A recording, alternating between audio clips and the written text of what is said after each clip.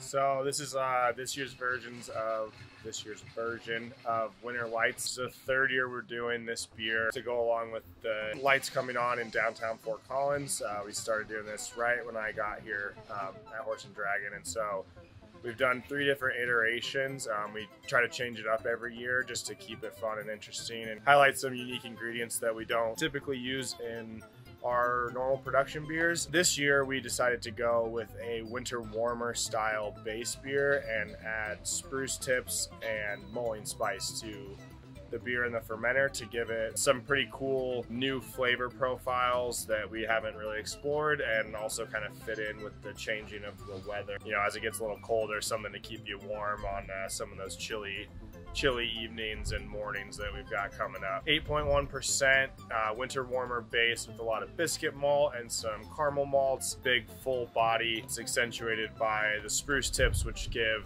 um, I like to describe as like a almost candied orange citrus flavor as well as a little bit of that pininess that you'd expect because it is you know from spruce trees. And then just a hint of mulling spice which gives it a little bit more depth and some of that clove allspice and uh, the orange in there also helps to accentuate the spruce tip. So yeah it's uh, it turned out really good. I'm excited. Yeah come get some and and uh, enjoy the winter and the lights